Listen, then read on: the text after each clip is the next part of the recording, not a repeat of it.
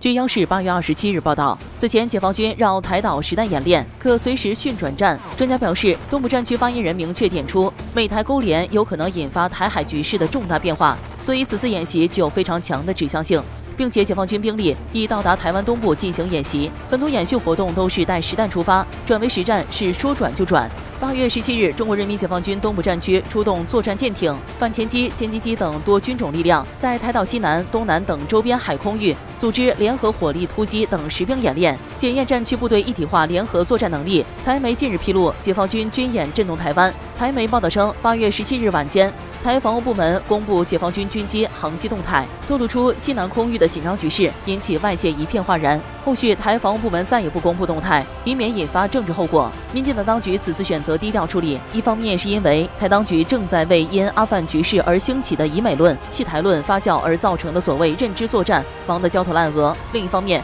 也可能体会到局势真的紧张，选择相对低调、沉默的应对。据统计，从五月底至今的大约三个月时间内，解放军总计在渤海、黄海、东海、台海、南海这五大海域进行了上百次演习。